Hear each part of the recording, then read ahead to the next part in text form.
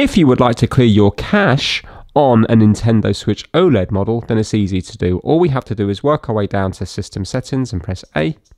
Go all the way down to System, press A, and then move right the way down to where it says Formatting Options and press A.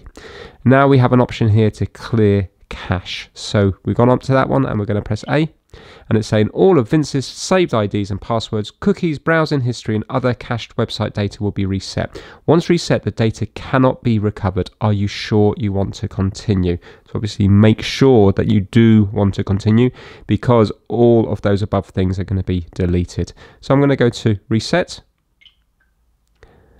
and it says reset complete. So now if I was to go back into the eShop then it should ask me for a password.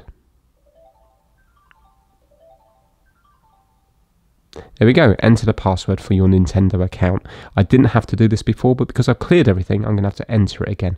So that's how to clear the cache on your Nintendo Switch OLED model. Thanks for watching.